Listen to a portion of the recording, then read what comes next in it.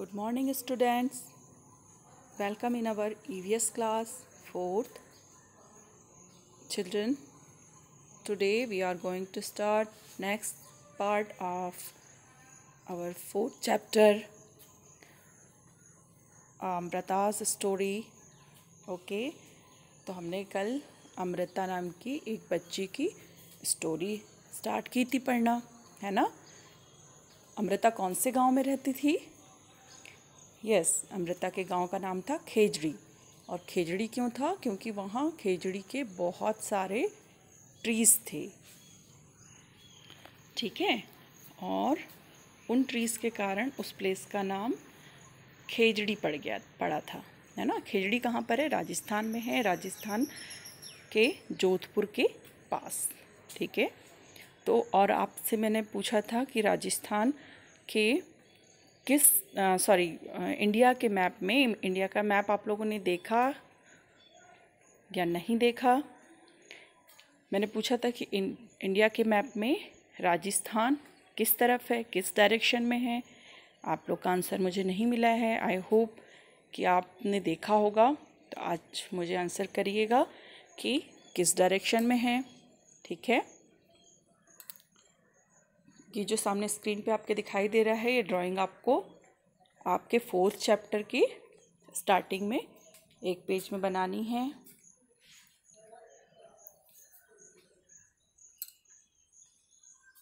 Okay now we see Amrita's friends Amrita would get up early every morning and greet her friends उसके friends कौन थे अमृता के? Plants and animals okay तो अमृता जो थी वो रोज़ जल्दी उठ जाती थी और अपने फ्रेंड्स से फ्रेंड को के पास पहुँच जाती थी, ठीक है? द ट्रीज़ है ना? कौन थे उसके फ्रेंड्स ट्रीज़ थे। She would choose a special tree for the day हर दिन वो एक नया ट्री चूज़ कर लेती थी, है ना? और she would put her arms around the trees trunk and whisper to the tree तो बच्चों, वो ट्रीज से उससे बहुत प्यार था। ट्रीज ही उसके फ्रेंड्स थे।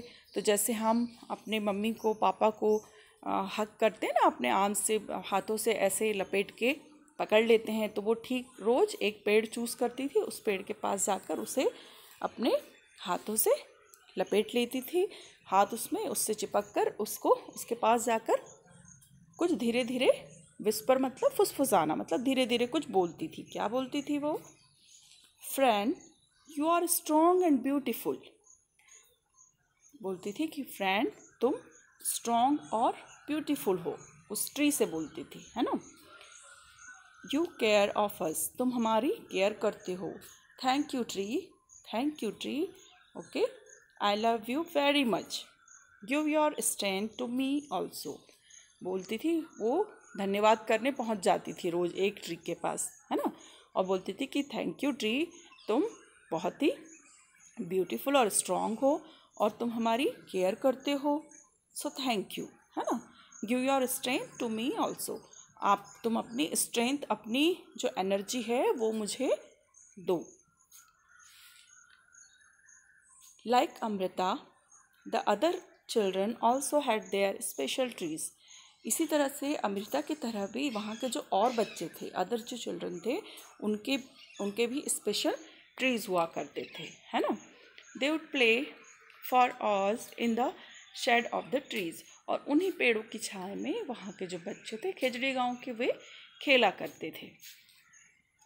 Is there a place near your house school or along the road along the road side where trees have been planted तो बच्चों बताइए there is the time of some questions तो बताइए, आपके आसपास, आपके हाउस के आस, आपके हाउस के पास स्कूल के पास, या आप जहाँ से आते जाते हैं तो रोड के साइड वाले भाग में कहीं प्लांटेशन आपने देखा है? पौधे लगे हुए देखे हैं? पेड़ लगे हुए? आपको बताना है, ठीक है? Yes or no why were they planted there और उन्हें वहाँ क्यों प्लांटेड प्लांटेशन उनका क्यों किया गया है, ये भी लिखना है। For for any business reason or any reason or not है ना? जो भी हो आपको इसको लिखना है यहाँ। Have you seen anyone taking care of the trees who does this आपने किसी को देखा है? जैसे अमृता जैसे केयर करती हैं, अमृता जैसे ट्री उन, उसके फ्रेंड हैं। वैसे आपने किसी को देखा है केयर करते हुए? और जो खेजड़ी गाँव के लोग थे, वो किस तरह से केयर करते थे? आपने स्टोरी में देखा? तो क्या इस तरह से कोई केयर करते आपने देखा है प्लांट्स के? हु डज़ दिस और अगर कोई करता है यस आर नो में लिखेंगे? और अगर यस तो वह कौन है? ठीक है? Who does this have you seen fruits on any of the tree who eats this fruits क्या आपने देखा है? Have you seen fruits on the any of the tree trees पर आपने फ्रूट्स लगे हुए देखा है? हु इट्स दिस फ्रूट अगर हाँ यस तो हु इट्स दिस ट्रीज वो फ्रूट्स कौन खाता है? ये भी आपको लिखना है। ठीक है बच्चों? Lalita's feel that grass and small plants growing near her school school wall have uh, have not been planted by. तो ललिता एक जो बच्ची है उसने फील किया कि उसके स्कूल के पास वॉल पर ग्रास और स्मॉल प्लांट ग्रो कर रहे हैं है ना बहुत से। और वो किसी के किसी ने उसे उन्हें लगाया नहीं है। Do you know of any place where grass small plants or trees are growing तो आपने भी इसी तरह के छोटे प्लांट्स ग्रास या ट्रीज़ देखा है जो आपके आसपास कहीं ग्रो कर रहे हैं? और जो किसी के द्वारा नहीं लगाए गए हैं, आपको उस प्लेस का नाम लिखना है। आपने अपने हाउस में देखा है या प्लेग्राउंड में देखा है या स्कूल में देखा है, कुछ ऐसे ग्रास या प्लांट्स जो किसी के थ्रू नहीं लगाए गए हैं। तो बच्चों, आपने अपने स्कूल में, अभी तो आप स्कूल नहीं आ रहे बट आपने स्कूल में देखा है ग्राउंड में जो घास निकल आती है, वो किसी ने नहीं लगाया है, बल्कि वो खुद से उगी हुई है है ना? Why do you feel they are growing on the own आपको ऐसा क्यों फील फील आपने कैसे फील किया कि वे खुद से वहाँ उगे हैं? तो आप कैसे बताएँगे? क्योंकि नो वन किसी ने क्योंकि वहाँ, वो नहीं लगाया है। No one planted there okay okay we will see our next part in next video बच्चों. Then till then bye bye